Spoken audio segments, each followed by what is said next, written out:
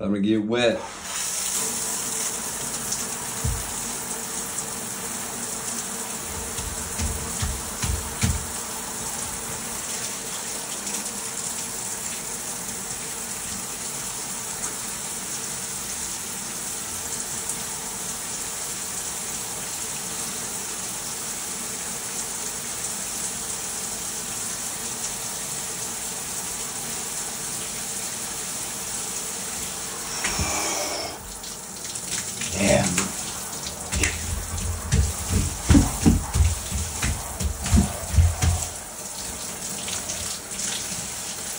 Today we go in fully.